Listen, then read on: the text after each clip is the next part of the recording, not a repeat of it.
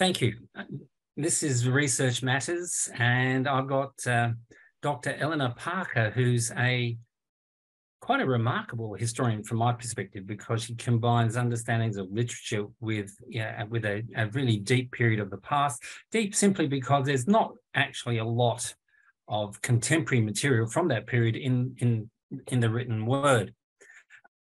Um, it's the Anglo-Saxon period, and she's just written this wonderful book, advertising here. Okay, so this wonderful book on um, Anglo-Saxon, the Anglo-Saxon year, and Eleanor's using poetry, Anglo-Saxon poetry, uh, to describe the kind of life world experience of uh, people who obviously are no longer with us, but who inhabit all of us Anglo-Saxon or Anglo-Australians, should I say, uh, whether we like it or not.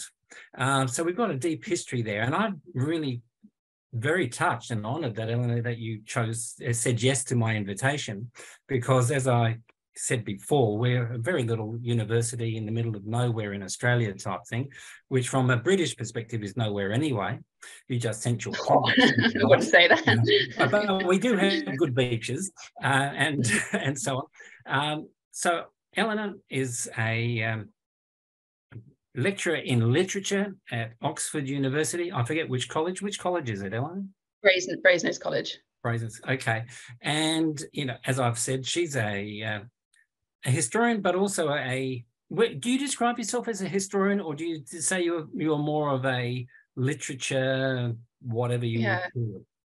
I'm kind of very much in between the two. And there's no, I mean, historian's a really useful label, and literary scholar or something like that is not as convenient. So I usually say historian, but actually my work is mostly on the literature side of things. Yeah. Or somewhere okay. in between the two. So, Eleanor, tell us just a little bit, tell us a little bit about the book, actually. That might be a nice mm intro for us all.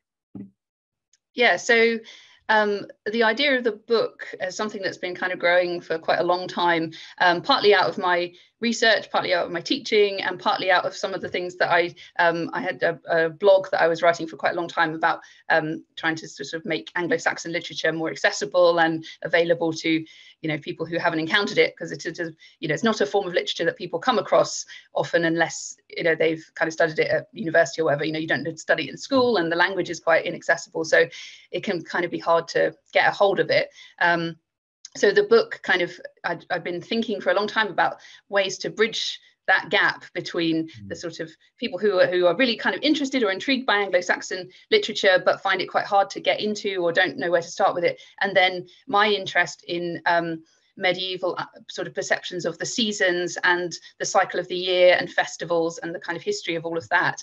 Um, so the book is it takes its shape from the cycle of the year. It's called a journey through the Anglo-Saxon year, and it's sort of you know from the poetry of winter, which there's a lot of in Anglo-Saxon literature because they had very hard winters and they write about it a lot, and then through kind of um, you know Christmas and Easter, summer festivals, harvest, um, and how different poems and texts sort of help us to understand the Anglo-Saxon experiences that you know the experience of that, those moments in the year. That's yeah, and I have to say your blog is wonderful. It's the Clerk of Oxford, yeah. That's right, yeah.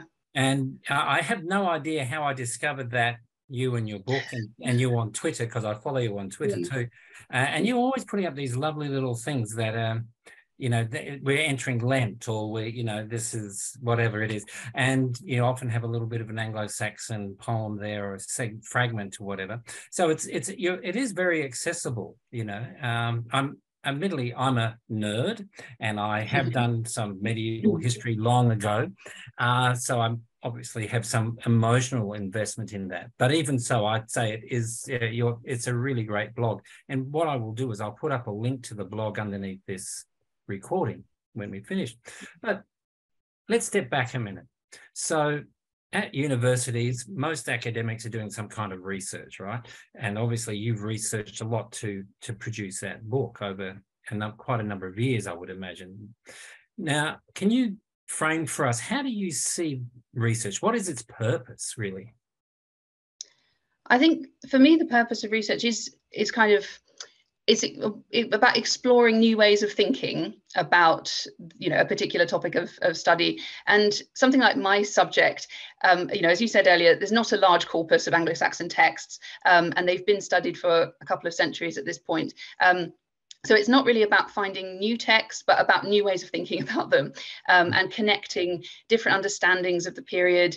Um, I think often interdisciplinary approaches are very important. I mean, I talked about the fact that I'm somewhere between history and literature. Mm-hmm. Um, so I often you know my research takes in work that's being done in history and literature and i think a lot of medievalists are very often interdisciplinary because you know that's sort of the nature of dealing with a period that's a very long time ago. You just want as much information as you can to provide context and, and sort of understanding.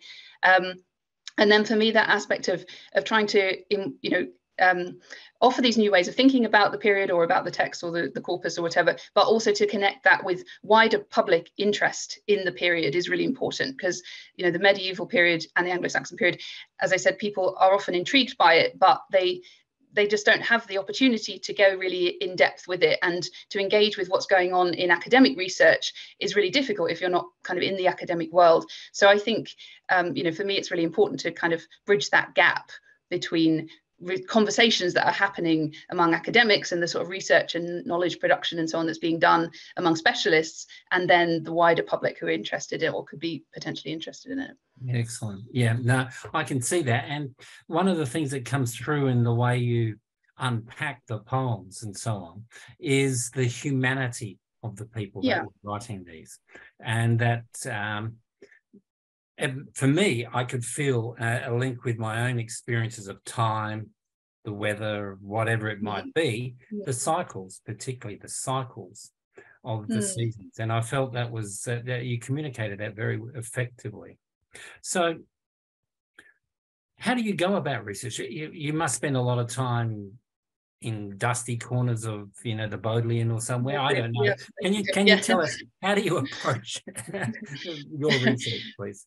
Yeah i mean absolutely i do i just spend a lot of time in the library you know with um, reading reading the texts themselves background reading you know you just can't read enough essentially. Um, but for me i'm also someone who you know i like to, to to develop my ideas through writing. So i'm not kind of somebody who tries to do all the research first and then you start writing. For me i try and start writing quite an early stage of the process to try and just for my own purposes get my ideas into words and then um, kind of be um, you know, sort of thinking and writing going on at the same time. Mm. Um, mm. Yeah.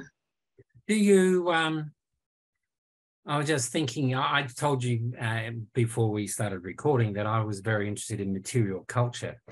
Do mm. you do things like go out and walk the, uh, you know, mm. fields or go do you do you have a mate who runs archaeological digs and sometimes you go off and stand in some anglo-saxon you know, building or, you know, yeah. not, not the building anymore, of course, it's just like the shadow of the building on the ground. Do you do that sort of stuff? Yeah, I do. I mean, you know, Anglo-Saxon um, history is kind of interesting from that point of view because there aren't very many standing buildings. So you can't like go and stand in a building the way you might in a medieval cathedral or something. Um, but you absolutely can walk the landscape. Um, i live in the thames valley so not in oxford itself but just a bit outside where there's quite a lot of things like anglo-saxon burial mounds and mm-hmm. roads that we know were there in the anglo-saxon period and fields that have not changed their boundaries since you know a thousand years ago. And i really like you know, trying to yeah trying to get out into those kinds of landscapes and think about what they could see and what they might be, you know, how they might have understood those sorts of places.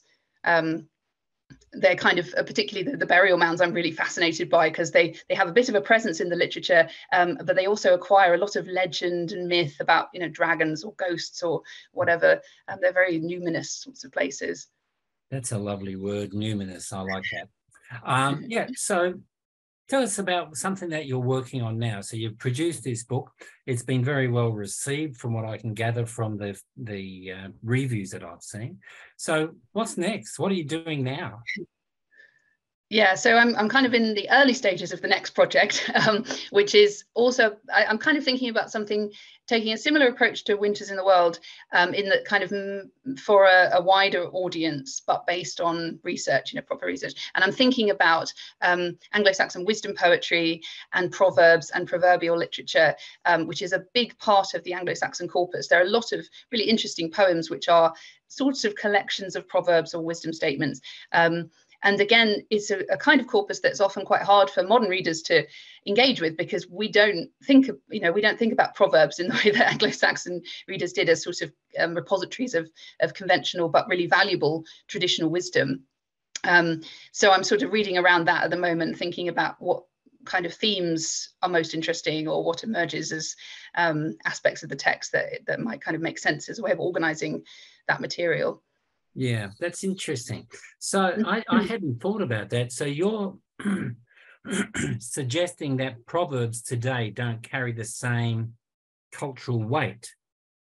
Yeah, I think that that's right. Yeah, I mean, I think well, you know we do use proverbs, obviously, but in Anglo-Saxon culture, as in quite a lot of um, you know predominantly oral cultures, wisdom something that's handed down through the generations in the form of proverbs or sort of wisdom poetry or something. Um, and it does carry a lot of cultural weight in a way that we don't you know little proverbs that we use today sort of don't quite have that although in one yeah. sense they're in the same tradition i mean i'm just thinking i'm quite a lot older so I'm mm-hmm. thinking about my old nana, you know, who right. came from Manchester actually, and she okay. was from the north. Uh, and but she had, you know, sayings for everything. A stitch in time saves nine, you know, all that sort of stuff. Mm-hmm. mm-hmm. They probably aren't proverbial in the same way that your meanings, because the Victorian period kind of almost yeah. uh, sanitized those, those sayings so that they became, yeah. and of course they were picked up by the working class almost as, mm-hmm. as an entry perhaps to middle classness. Yeah. Um, I'm just thinking about that. Any thoughts on mm. that before I push on? um, yeah, I mean, I think in one sense, actually, those kinds of proverbs that you're talking about are probably an important inheritance of or mm-hmm. version of the, the, tradition that, that you get in, in the Middle Ages. Um, but I think the thing about um, medieval proverbs is they they sort of span what you're talking about, kind of working class or sort of popular culture, but also quite high level elite mm-hmm. culture as well. You know kings speak in proverbs and and bishops and mm-hmm. archbishops sort of preach in proverbial forms and taking on proverbial um, ways of thinking or yeah. expressing themselves. So it's a, a, kind of a it spans the the classes in that sense. Yeah excellent. I mean so you, this is this is wonderful. I'm uh, really enjoying it. But you know I, I know we have to wrap this thing up and I, that's right. Um, where do we go? And let's so i'm I spent a lot of time working with undergraduate research students who are just learning the ropes. What would be your advice to our beginning researchers? I think it would be to keep an open mind all the time hmm. about what you're interested in and also sort of how it relates to your broader interests as a person or your your sense of purpose or whatever. Because um, my memory of that period of when you're sort of beginning as a researcher you know maybe starting a phd or whatever on the one hand you're you're learning about your area of research but you're also learning about yourself as a researcher and what matters to you and how you work best and what you value doing most. And my experience has been that institutions will tend to incentivize certain kinds of research or certain approaches to research that but you have to find your own way of doing it you have to find the way that works for you um, so i think being open-minded about sort of the sense of research as a, a, journey and you don't necessarily know the ending is really important you know like you don't know where it's going to a journey where you don't know the ending.